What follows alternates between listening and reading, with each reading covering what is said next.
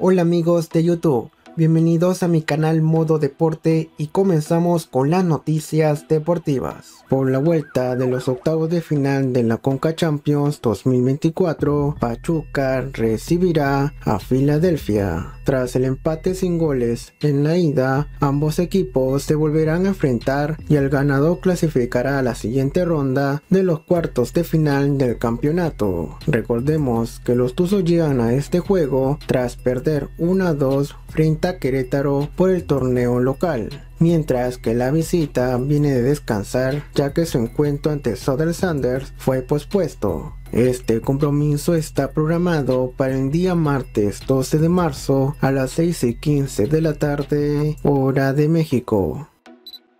Oscar Perea cerca de salir del Atlético Nacional. Los rumores sobre este jugador son fuertes. Primero se habló de un posible salto a la Bundesliga o a la MLS, incluso que Cruzeiro de Brasil también lo quería. Las ofertas seguramente continuarán y será cuestión de tiempo para que Oscar Perea pueda comenzar su carrera en el exterior. Es por eso que la directiva del club quiere que Perea renueve con la institución. Esta maniobra podría concluir en que el equipo espera recibir el dinero por su venta y no dejarlo libre. Es por eso que agilizan los temas de ampliación de contrato.